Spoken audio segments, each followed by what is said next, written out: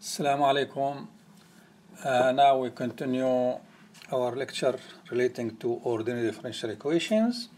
And last time we approached here, this is trapezoidal rule, and it's given like this. It looks like trapezoidal rule for integration. But now it is for ordinary differential equations or initial value problem. So here, example, last, last time we talked about it. We have to consider two cases, step length a half and step length equal 0.2. So last time we said it's, it's a half, today now we will continue it with this way. So when we go to next slides, so here we are. Well, it is easy to see now. Each, each step here, each step is 0.2. It means to reach this value, I need y5. So it's not difficult to find out. So we start with h equal a half, uh, 0.2. Just substitute as before. y0 is given y, x0 is given 0. Substitute here because x0 is 0, the answer is 0. Substitute here. This is trapezoidal rule when n equals 0 and we found this the answer. But here, as I said before, this is implicit formula trapezoidal rule.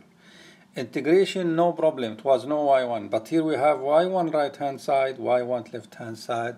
So we have to solve the equation. And how to do it? It is easy because linear. Just move one of them to one side. After substituting easier, and then we find y1. Now repeat again, find f of 1 by substituting here. We get this one answer. Maybe it sounds I am fast, but you should do this really at home without looking at this one and get the same answer. If something wrong, please let me know. So y2 here now again, it's always like this, implicit answer. So here y2 and here y2. Well, we have to solve it for y2 and we find this answer. So again, continue. F2. Substitute, we get this. y3, y3 left hand side.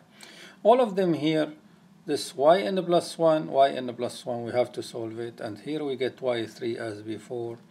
y4, we get this the answer. Continue in this way, and here is y5.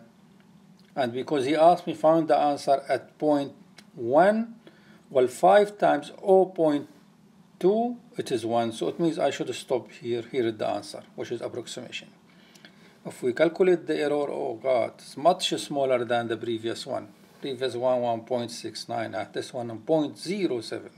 So with the same value of h. So in that case, this is trapezoidal rule. So it's very good method. But one disadvantage, we have to solve left-hand side more, y3, y3. In this case, it's linear, easy to solve, but in general, it's not easy. For this reason, we have to look for something different. Here is, again, another example. We have to solve for this one. When we substitute as before, here y1 and y1, we have to solve it and get the answer. So please continue solving this one, similar to the previous case. And now we move to this one. In fact, the title here still uh, trapezoidal rule, but just for some reason I like to write it Runge-Kutta because we, it's introduction for Runge-Kutta methods. So now improved Euler rule. What is improved Euler rule? Well, as I said before here, look, trapezoidal rule, we have n plus 1 on the right hand side, n plus 1 is left hand side, which means every time I have to solve this with respect to yn plus 1. If it is linear, easy, but sometimes could be difficult, sometimes impossible. So when it's impossible or very difficult, I have to apply something like, if you remember Newton methods, because both of them are unknown. But this one may take long time, it may fail, it has some disadvantage. So we'd like to replace this method by explicit method. So this is called implicit. How to make it explicit? Well, this one here, we approximate this, estimate this answer here. How can we estimate? We'd like to estimate y1 plus 1. Substitute here, we'll get this one. So what we do here, when we estimate this, what is fn plus 1 here? It is if xn plus 1, we put it star. Star mean estimation. But how do you estimate this? Well, use another method, you know. Well, we know that one here, Euler methods. So calculate this y my Euler method. When you know this one, substitute here. When you substitute here, become explicit method, we can find this new point. And repeat. In that case here, because we are using Euler, this called improved Euler method. And that's the idea. Well, this one, look, if you want to write it in a different way, so just here we can rewrite it again, yn plus 1, like as before.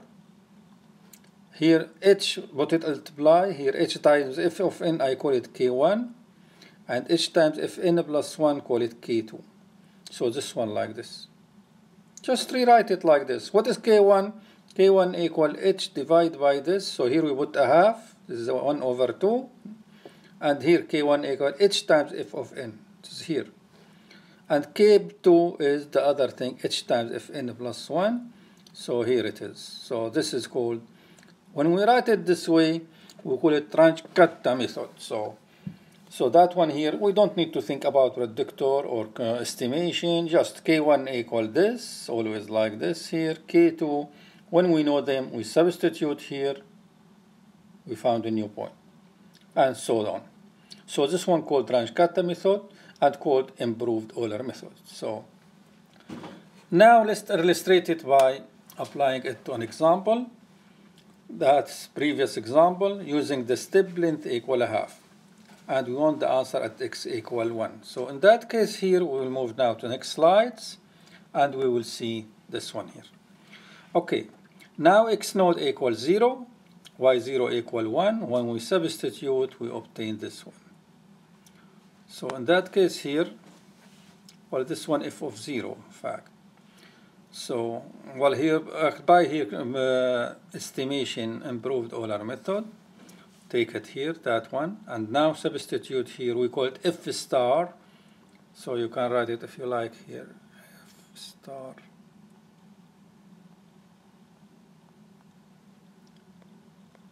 Right?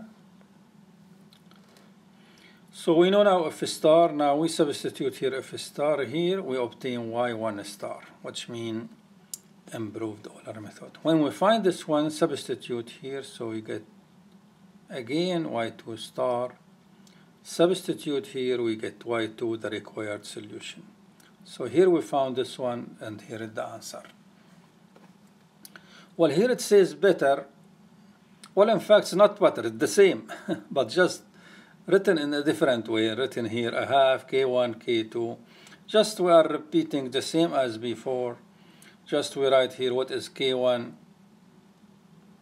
we bind it like before exactly it's identical in fact. Then k2 equal this one here. Substitute here we get this one. The same answer as before that one the same answer.